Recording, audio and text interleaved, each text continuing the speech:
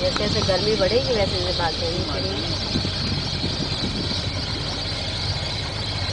चलो साइबेरियन चिड़ियों का नाम सुना था तो